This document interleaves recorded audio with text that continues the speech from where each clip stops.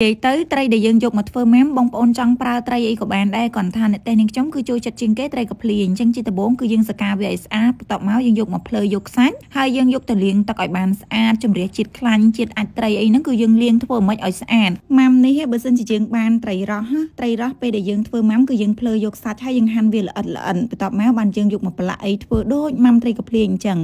ឬក៏យើងប្រើត្រីចង្វាត្រីកតុយមាន់ត្រីកាភ្លីវត្រីកេះត្រីតាអោនេះហ្នឹងក៏យើងអាចធ្វើម៉ាំបានដែរត្រីកញ្ចុះមួយទៀតនិយាយទៅគឺតាមចំណងចំណូលចិត្តរបស់យើងចង់ញ៉ាំត្រីអីធ្វើត្រីហ្នឹងទៅ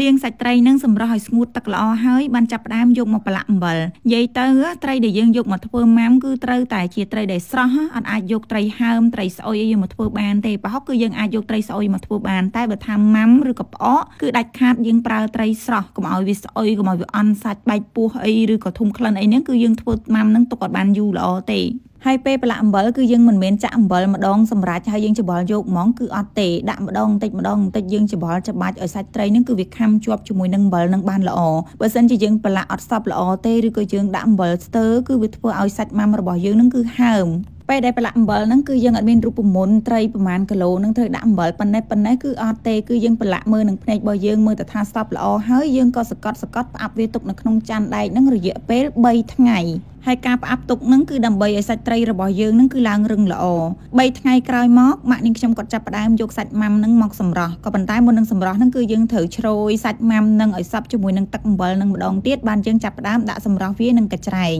បើសិនជាសាច់ម៉ាំរបស់យើងប្រឡាក់អំបិលស្ទើរនៅពេលដែលយើងចាប់ផ្ដើមសម្រស់នេះគឺយើងអាចដឹងហើយគឺសាច់ម៉ាំហ្នឹងគឺឡើងហើមទន់ជ្រៀកជ្រៀកតែបើថាយើងប្រឡាក់អំបិលដល់វិញគឺសាច់ម៉ាំរបស់យើងឡើងរឹងល្អអញ្ចឹងពេលដែលយើងដាក់កញ្ច្រែងហើយគឺយើងត្រូវការសម្រស់វារយៈពេល2យប់ទៀត2យប់2ថ្ងៃដើម្បីឲ្យវាស្ងួតសាច់ម៉ាំនឹងល្អហើយយើងការពារគ្រប់ធ្វើមិនឲ្យចិត្តកុំឲ្យមានរុយវាចូលទៅពងដាក់តកាណាមានរុយអីពងដាក់គឺវាដឹងទៅមានតកៅពេញសាច់ត្រីទាំងអស់នឹងឯងតាមធម្មតាបើសិនជាទឹកអំបិលត្រីនឹងច្រើនគឺម៉ាក់នាងខ្ញុំក៏ទុកធ្វើទឹកត្រីតែនេះតិចពេកអញ្ចឹងទៅខ្ជិលទុកបន្ទាប់ពី2ថ្ងៃក្រោយមកម៉ាក់នាងខ្ញុំក៏ចាប់ផ្ដើមដាក់វាសម្ដិលនឹងបាត់ជីលបែបនេះក៏ប៉ុន្តែយើងដាក់ហាលទឹកអង្សើមកយប់សិនណាបងប្អូនហាលទឹកអង្សើមកយប់ហើយព្រលឹមឡើងគឺយើងហាលថ្ងៃប្រហែលជា1ម៉ោង2ម៉ោងទៀតនៅពេលដែលយើងហាលទឹកអង្សើមឬក៏យើងដាក់ហាលថ្ងៃហ្នឹងគឺហាមដាច់ខាតមានទឹកខ្ទាតចូលឬក៏ត្រូវទឹកភ្លៀងអីហ្នឹងគឺធ្វើឲ្យម៉ាំរបស់យើងហ្នឹងគឺឡើងធំខ្យល់ហើយអត់ឈ្ងុយទេ បន្ទាប់ពីហាលថ្ងៃប្រហែលជា2ម៉ោងត្រូវថ្ងៃក្តៅល្អហើយបានម៉ាក់នាងខ្ញុំក៏ចាប់ផ្ដើមយកវាមកប្រឡាក់ជាមួយនឹងអង្ករលីងក៏ប៉ុន្តែយើងមិនមែនប្រឡាក់វាទាំងនៅសាច់ក្តៅហ្នឹងឯណាគឺយើងទុកវាឲ្យត្រជាក់សិនបានយើងយកមកប្រឡាក់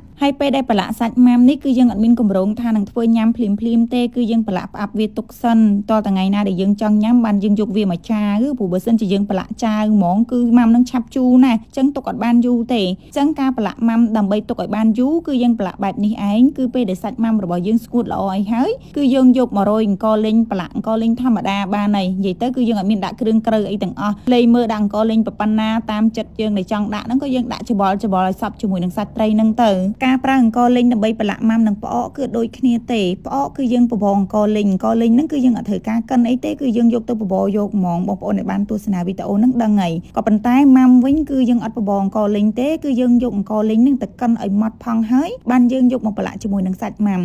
នៅពេលដែលយើងច្បល់អង្ករលីងជាមួយនឹងសាច់ម៉ាំរបស់យើងនឹងសព្វល្អហើយយើងក៏ចាប់ផ្ដើមយកវាទៅដាក់ចូលនៅក្នុងធុងមួយបងប្អូនចង់ដាក់កណ្ដុងអញ្ចឹងក៏បានឬក៏យើងមានកឡឬក៏ពីងឬក៏អីពីម៉ាក់គាត់ដាក់សាច់ម៉ាំចូលកណ្ដុងហើយឥឡូវគាត់ចាប់ផ្ដើមមកលីងអង្ករលីងថែមទៀតដើម្បីទុកចាវនៅពេលក្រោយព្រោះអង្ករលីងអស់ហើយហើយអង្ករលីងនេះលីងលឹងយូរទម្រាំតែបានក្រហមប៉ុណ្ណឹងប្រហែលជា3ខែក្រោយមកឥឡូវយើងចាប់ផ្ដើមមកចាវម៉ាំរបស់យើងដែលគ្រឿងក្រៅសម្រាប់ចាវម៉ាំហ្នឹងគឺមានម្នាស់3លហុងមួយផ្លែដេងហើយនិងស្ករក្រហមនិយាយទៅបងប្អូនអង្ករលីងងនឹងម៉ាំហ្នឹងគឺមិនមែនទឹកម្សៅគឺយើងគៀវាទៅតាមអាមាត់ចោវាតែនេះអង្គលីងគឺយើងអត់គៀអញ្ចឹងទេគឺយើងជោគវាហើយពេលដែលកិនហ្នឹងមានអង្គុយផងមានពេនភ្នែនផងមានដៃមួយផងដៃពីរផងនិយាយវាថាមុខវិញគឺថាខ្ជិលយកត្មងកិនម្ដងម្ដងមិនមែនស្រួលទេចុកដៃណាស់នេះបើសិនជាបងអូនប្រុសនាងខ្ញុំនៅបានគាត់ជួយកិនតែថ្ងៃនេះគាត់ទៅបោកឃុំទៀតបានពេលដែលកិនអង្គលីងគឺយើងដាក់ម្ដងតិចបើសិនជាយើងដាក់ម្ដងច្រើនច្រើនអង្គលីងរបស់យើងហ្នឹងគឺអត់ម៉ត់ល្អទេ លហុងដាក់ចាវម៉ាំហ្នឹងបើសិនជាយើងចង់ដាក់ថែម2 3ក៏បានដែរព្រោះយើងយកសាច់លហុងដើម្បីទុកញ៉ាំតែបើសិនជាដាក់ច្រើនពេកយើងញ៉ាំអត់ទាន់គឺវាអាចនឹងជូរខូចអីចឹងអញ្ចឹងយើងដាក់តែមួយផ្លែសិនបានហើយអញ្ចឹងលហុងហ្នឹងគឺម៉ាក់នាងខ្ញុំគាត់កាត់កង់កង់បន្ទាប់មកទៀតគាត់កាត់ជាចំណិតចំណិតបែបហ្នឹងបើសិនជាបងប្អូនចង់ចិត្តម៉ូតម៉ាក់មិនក៏បានដែរទៅតាមចំណង់ចំណូលចិត្តរបស់យើងហើយម្នាស់គឺយើងអត់ចិត្តដូចលហុងទេគឺយើងសាប់វាដូចសាប់ស្វាយដាក់ទឹកត្រីអញ្ចឹងណាបងប្អូនខ្លះនៅពេលដែលគាត់ចាវម៉ាំអាចថានឹងមិនដាក់ម្នាស់ទេប៉ុន្តែអ្នកទេសនាងខ្ញុំគឺចូលចិត្តណាស់ដាក់ម្នាស់អញ្ចឹងទៅគឺធ្វើឲ្យសាច់ម៉ាំរបស់យើងគឺឈ្ងុយឆ្ងាញ់ហ្មងហើយម្នាស់ហ្នឹងនៅពេលដែលម៉ាក់គាត់ចាត់សាច់អស់អញ្ចឹងទៅនាងខ្ញុំក៏សុំស្នូលហ្នឹងយកមកញ៉ាំកាលនៅតូចតូចនៅពេលម៉ាំរបស់យើងគឺបានត្រៀមរួចរាល់អស់ហើយឥឡូវមកទស្សនាម៉ាក់នាងខ្ញុំក៏ចាវម៉ាំទាំងអស់គ្នាឥឡូវជាដំបូងគឺយើងចាប់ផ្ដើមបើកគម្របធុងម៉ាំនឹងចេញទៅគ្រាន់តែបើកខ្វាច់មកនិយាយថាក្លិននឹងឈ្ងុយហ្មងហើយយើងចាប់ផ្ដើមដកអាឈើដែលយើងដាក់ខ្ទាស់នឹងចេញម៉ាក់គាត់ថាជាកាលពីមុនមកមានស្លឹកត្នោតគឺគាត់ដាក់ស្លឹកត្នោតនឹងគ្របលើម៉ាំខ្ទាស់តែដល់ពេលយើងអត់មានចឹងទៅយើងប្រើថង់ជំនួសស្លឹកត្នោតគេដាក់ស្លឹកត្នោតមិនមានឥឡូវអត់ឈ្ងុយឈ្ងុយល្អហ្មងនេះឈ្ងុយអត់មានធំខ្យល់អីណាព្រោះយើងហាទាំងសៅមួយយប់ទៅស្ដិលថ្ងៃប្រហែលជា1ម៉ោងទៅបានយកមកទុកឲ្យត្រជាក់ឡើងដល់សាច់ម៉ាំនេះឡើងរឹងល្អហ្មងប្រឡាក់ទុកអឡើងប្រហែលខែ3 2 3ខែហ្នឹងមើលទៅ3ខែតាមទឹក នឹងឈ្ងុយហ្មងម៉ាំដែលយើងហាលបានល្អគឺអត់មានធំខ្យល់ឬក៏មានតកៅឬក៏សាច់ទុនជ្រាយអីទេគឺយើងប្រឡាក់វាត្រូវហាលវាបានល្អទុកដាក់វាត្រឹមត្រូវគឺសាច់វានៅល្អចេះអញ្ចឹងម៉ាំជីទូទៅបើសិនជាយើងអត់ទាន់បានញ៉ាំអត់ចង់និយាយថាយើងអត់ត្រូវការចំហុយវាឬក៏យើងអត់ត្រូវការប្រើការវាយើងមានម៉ាំមានប្អូអីផ្សេងហើយអញ្ចឹងអាហ្នឹងគឺយើងគ្រាន់តែប្រឡាក់អំបិលសម្រាប់ដូចបងប្អូនឃើញអញ្ចឹងយើងហាលទៅប្រឡាក់អង្គលេងមុំមុំទុកវាអញ្ចឹងហើយ តថ្ងៃណាដែលយើងគិតថាអូឥឡូវចង់ញ៉ាំដល់អាចាស់នឹងវាអស់ហើយចឹងចាវថ្មីថែមទៀតទៅអញ្ចឹងពេលដែលយើងចាវគឺយើងដាក់គ្រឿងក្រូវអីទាំងអស់ហ្នឹងឯងតែដល់ពេលយើងចាវហើយគឺយើងទុកអត់បានយូរទេទៅពេលជូរហើយគឺយើងបញ្ញាប់ញ៉ាំធ្វើមិនឲ្យអស់អញ្ចឹងណា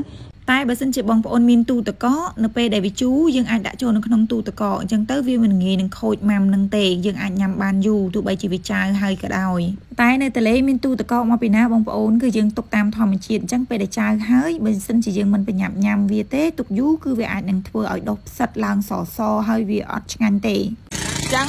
របៀបចាវគឺយើងចាក់ម៉ាំចេញពីកំប៉ុងរបស់យើងហើយបន្ទាប់មកទៀតគឺយើងចាប់ផ្ដើមដាក់អណ្ដែងបុកហើយបន្ទាប់មកយើងក៏ដាក់ម្នាស់ដា ក់ល្ហុងហើយយើងអាចស្ករដាក់ស្ករស្ករហ្នឹងដាក់ទាំងអស់ហីមែន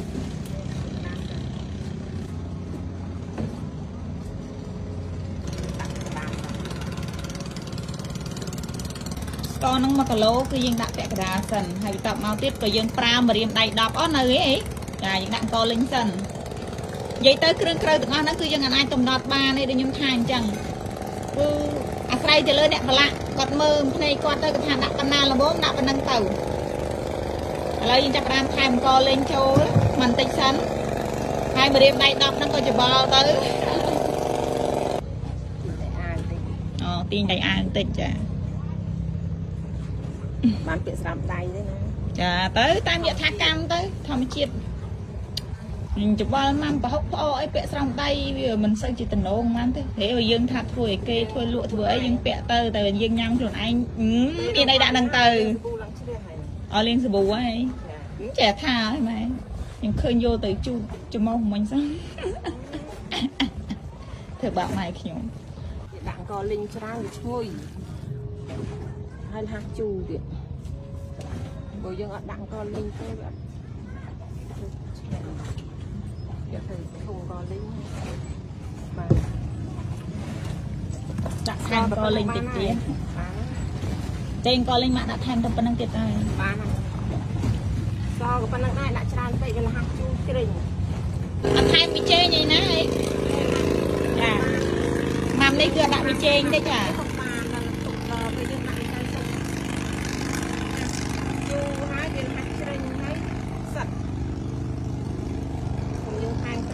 យើងហូចសាប់ប្រៃយើងប្រៃអាសសៅស៊ុបថែមអឺម៉ាំម៉ាំឆៅភាកច្រើនគឺយើងយកម៉ាំត្រីកាភ្លៀងចេះយកទៅធ្វើម៉ាំឆៅឆ្ងាញ់ម៉ាំព្រៀងម៉ាំអេរ៉ងម៉ាំយកព្រីងភ្លាវក៏ម៉ាំដែរភ្លាវយើងដាក់ពេលទទួលយើងត្រីឆ្វៀតត្រីឆ្វៀតត្រីអឺច្វាម៉ាំត្រីឆ្វៀតម៉ាំត្រីច្វាម៉ាំត្រីកាភ្លាវ ម៉ាំត្រីកញ្ចុះម៉ាំត្រីកាភ្លៀងម៉ាំត្រីរ៉ោះតែខ្ញុំញ៉ាំញឹកជាងគេតែម៉ាំត្រីកាភ្លៀងនឹងឯងដំបងគាត់ថាច្រកចូលកៅទាំងពីរហ្នឹងគាត់ថាអស់ហើយប៉ុន្តែមើលទៅច្រកវាមិនអស់ទេម៉ាំយើងច្រើនដែរអញ្ចឹងដាក់ចូលអាកដុងដដែលនឹងមកកដុងនឹងសម្រាប់ហ្មងទៅកុំបាក់តែពេលដែលគាត់ធ្វើប្រហុកម៉ាំផ្អកគឺគាត់ច្រើនទៅយកទៅហឹកអញ្ចឹងឯងគាត់ចង់ដឹងឈ្ងុយអត់ធំចាល្អនេះមានលហុងដាក់លហុងមួយទៀតក៏បានដែរ និយាយចាំយើងអីនេះសិនព្រោះលហុងនឹងវាឆាប់ជូរទេហើយម៉ាំលហុងឆ្ងាញ់ណាស់បងប្អូនម៉ាំលហុងបងប្អូនអ្នកដែលគាត់ធ្វើលក់ខ្ញុំមិនដឹងគាត់ធ្វើមិនទេប៉ុន្តែម៉ាំលហុងនៅផ្ទះខ្ញុំគឺទៅទៅប្រឡាក់ជាមួយនឹងសាច់ត្រីអញ្ចឹងឯងអានប្រឡាក់ជាមួយនឹងសាច់ត្រីហើយទុកឲ្យវាជូរតែដល់ពេលគេអ្នកលក់ហ្នឹងគេចេះធ្វើអាម៉ាំលហុងដោយមិនប្រឡាក់មួយសាច់ត្រីមិនគេហ៎អាហ្នឹងអត់ចេះធ្វើអត់ដូចជាគេប្រឡាក់មួយកលេងតាមមើលទៅគេប្រហែលជាគេចាវដូចយើងអញ្ចឹងគាត់ថាវាអត់មានសាច់ត្រីក៏លីងនឹងអាយដូចតែគ្នា ប៉ុន្តែវាអត់មានសាច់ត្រីហ្នឹងត្រាំទឹកក៏លីងជាមួយបាល់ស្ករម្សៅស៊ុបទៅហេកែងលោកគេមានតិចនិចអីផ្សេងអញ្ចឹងណាតែយើងយើងប្រាប់ធ្វើទៅចេះចាំហូបម៉ាំហ្នឹងទៅយើងធ្វើម៉ាំយើងដាក់ប្រឡាក់យកទៅបន្ទាប់ពីយើងច្របល់សពគ្រឿងអស់ហើយយើងក៏ដាក់ចូលនៅក្នុងធុងហើយយើងក៏សកាត់សកាត់វាឲ្យណែនកុំឲ្យដាក់លហោះលហោះទៅយកទៅទៅម៉ាំប្រហុកពេលដែលយើងដាក់វាគឺយើងសកាត់វាឲ្យណែនអញ្ចឹង តែម៉ាំម៉ាក់ខ្ញុំលើកមុនហ្នឹងដូចម៉ាំត្រីកញ្ចុះម៉ាំត្រីកញ្ចុះហ្នឹងដូចជាខ្មៅដល់ហើយកាលហ្នឹងក៏លីងនឹងជ្រុលអូអូតាមពិតម៉ាំផ្អកហ្នឹងសម្រស់ស្អាតដោយសារអង្គលីងទេបើអង្គលីងយើងលីងឡើងខ្មៅជ្រុលពេលដែលយើងកិនទៅប្រឡាក់ត្រីទៅក៏វាឡើងខ្មៅទៅតាមហ្នឹងដែរទៅចោលទៅចោលវានឹងកម្ៅវាមិនសាច់ខ្លាដូចព្រីមនេះមុនហ្នឹងតែ